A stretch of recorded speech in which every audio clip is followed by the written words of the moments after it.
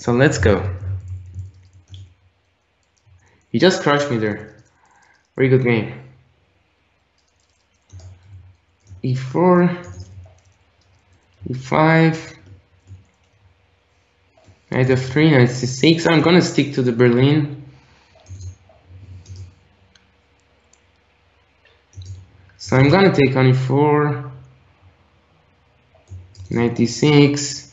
You're gonna take on e5, bishop e7, bishop f1. Okay, he takes on c6. So knight e5, bishop e7, knight c3, castle. So it goes d3, knight f5. So I'm trying to play as fast as possible so we can get some games, some more games, hopefully. So bishop d6. Let's see, he goes knight f3, I go rook e8. It's a very dry position actually and it's, it's just fine for white, but I am the guy who should trick him. it is my responsibility, right? So takes. He's probably gonna take this h pawn, I guess.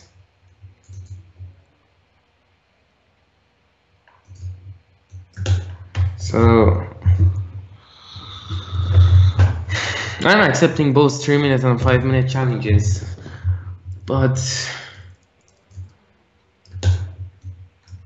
too many of you guys are challenging, so I'm not sure if we can get everybody this time, but maybe next time we can get more players, hopefully. So b6, queen f4, I go bishop d6, he goes queen c4 check, so I'm gonna take on f3. He's playing very good for five, 1500 player. He's just playing very good. I'm impressed. So takes rook d8. We have a very interesting endgame actually. H5. I might I might create a passed pawn on h5. So we will see. I'm gonna go bishop b4 g5 he cannot play c3 that's the good I, that's a good thing about the position okay g4 interesting because if I go h4 then f4 f4 takes takes rook d4 eh. So now I have bishop d6 so f4 is not possible anymore I'm gonna try to play rook e8 and bishop f4 maybe or I should try for f5. Probably I should go king g6 f5 and break through from in the king side. So I'm not sure how to do it though.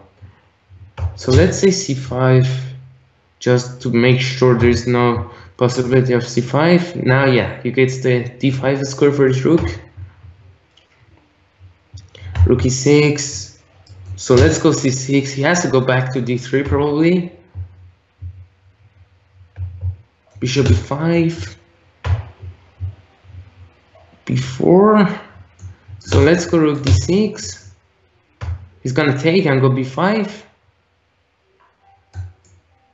So takes takes c4, a5, bishop c7. a5, bishop c7, a6, I guess. But yeah, I am I am slightly better here, but I'm not sure if it's winning. So, but he played a very good game, so I'm impressed. So good game.